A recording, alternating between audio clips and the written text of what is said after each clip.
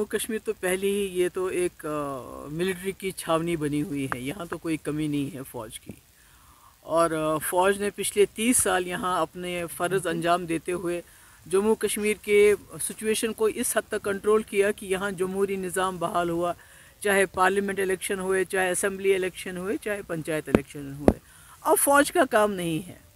जैसे बहुत बड़े बड़े एक्सपर्ट्स जो है सिक्योरिटी के या फ़ौज के जो बड़े बड़े ऑफिसर्स हैं वो सब ये मानते हैं कि जम्मू कश्मीर एक पॉलिटिकल इशू है एक सियासी मसला है।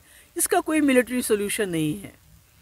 आ, दुनिया की कोई भी ताकत कितनी भी ताकतवर हो चाहे वो अमेरिका क्यों ना हो चाहे वो चाइना क्यों ना हो अपने अवाम के साथ जंग नहीं लड़ सकते और उस जंग को कभी नहीं जीत सकते।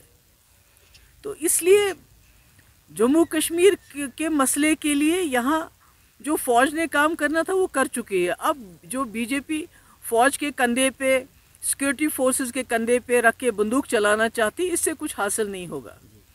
अगर मसलों का हल मिलिट्री के ज़रिए होता तो जो चाइना ने 20-22 फौजी हमारे जो है, उनको शहीद कर दिया।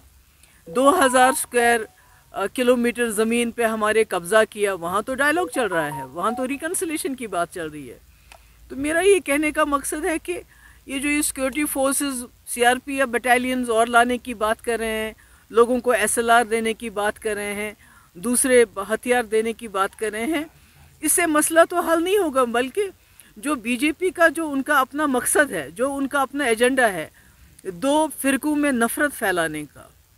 एक जंगी माहौल तैयार करना, कि यहाँ बाई को बाई के साथ लड़ाना, उससे वही जो है वही सिचुएशन यहाँ बन जाएगी। और जो बीजेपी बड़े बड़े दावे